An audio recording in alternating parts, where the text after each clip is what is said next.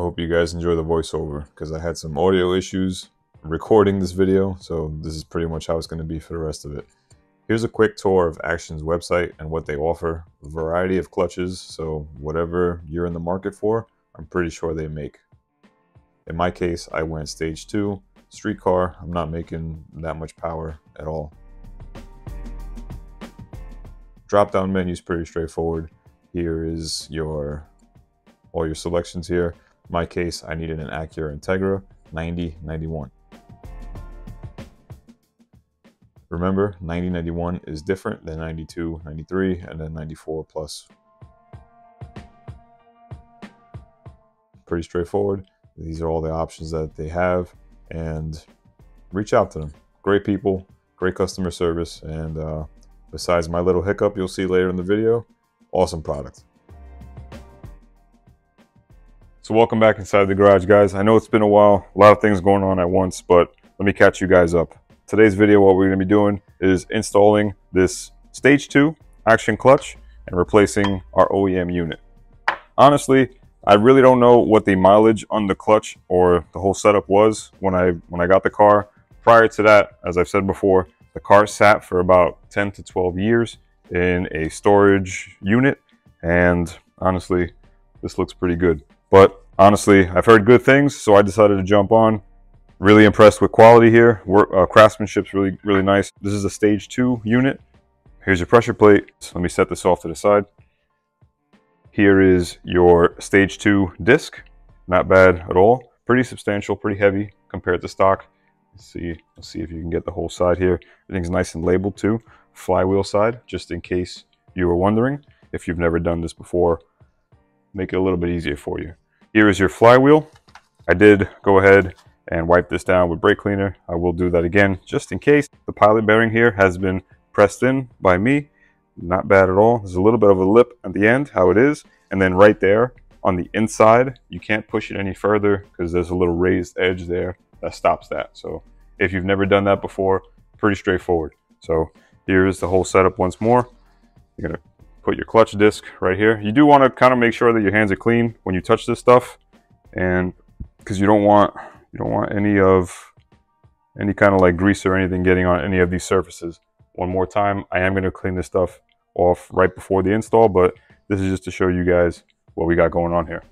Again, flywheel, stage two disc, and the pressure plate.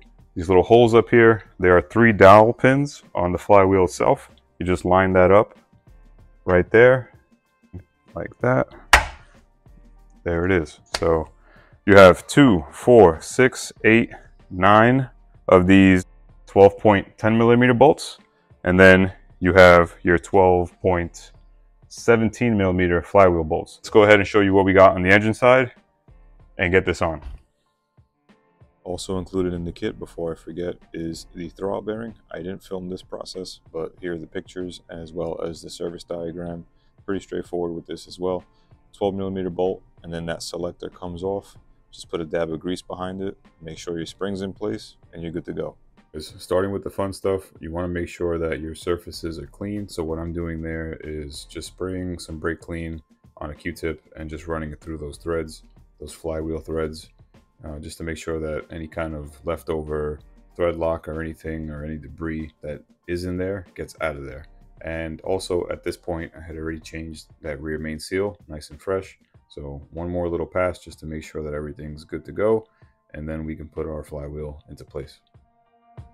So after that, you just want to make sure that you line everything up.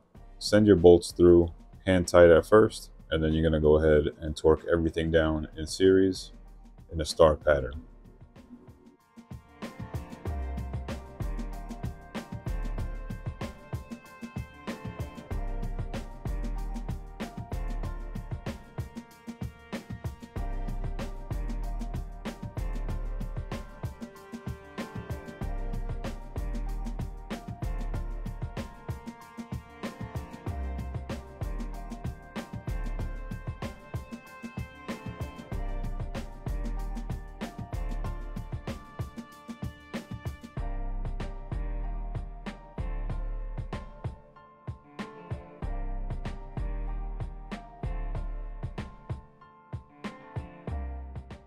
So now it's time to torque these down to 76 foot-pounds again.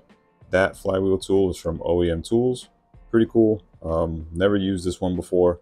And once I got it figured out, made my life a lot easier. So I'll go ahead and link that in the description below. If you guys are in the market for that, just give it a look.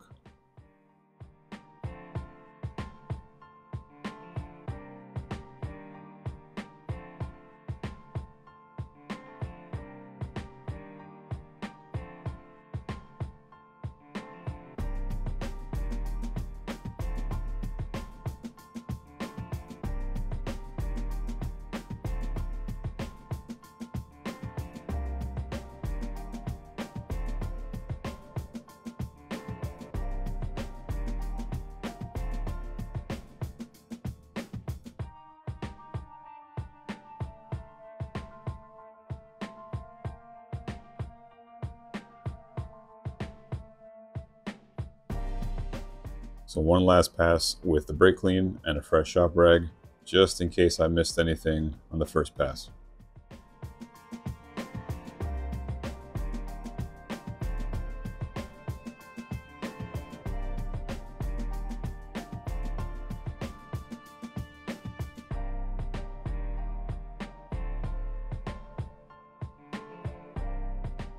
So here it is, right? Last step, putting in our pressure plate bolts so I thought.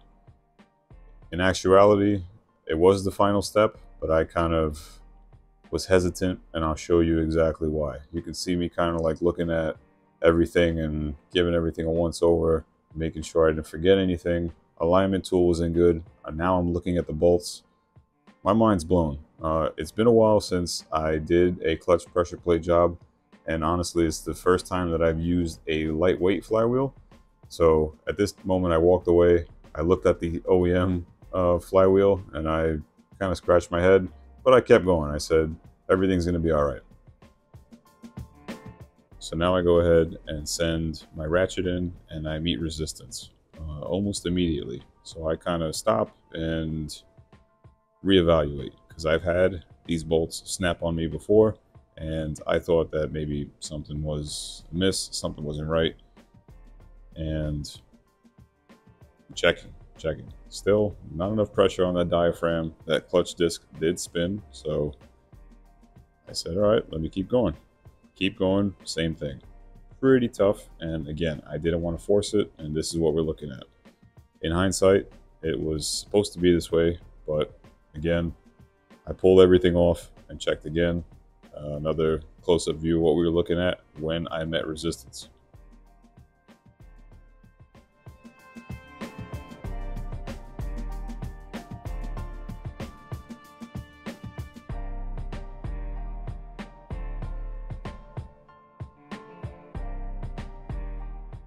So moving on to the next day now. At this point, I had taken the entire setup off, had the flywheel on my workbench, had someone come by and look at it, and uh, they convinced me to send the bolts through carefully and see what happens. That's exactly what I did. None of the bolts were at 19 foot-pounds like they're supposed to be when they got to that resistance point. So I went ahead, pushed through, and as you can see, everything kind of closed up and very carefully got the job done. So again, I put this out there. I could have made a nice fluff video and said, yeah, everything went great. Action's awesome. They are, but I made a mistake. Just showing you guys that not perfect. So happens. Here it is. Here's the finished product. Alignment tool comes out. Job's done. So here's the back side of the setup. This is what you're going to see. And honestly, being that I've never used a lightweight setup, uh, this was a little weird to see, but again, no clearance issues, so we're wrapped up. Unless I made a mistake, let me know. Drop a comment down there. But for now, let's get this transmission back on. And just like that, first try, as always, right? No issues there. Thanks for joining me on this one, guys. I will see you very, very soon. Big thanks to Action Clutch, and stay busy. Catch you on the next one.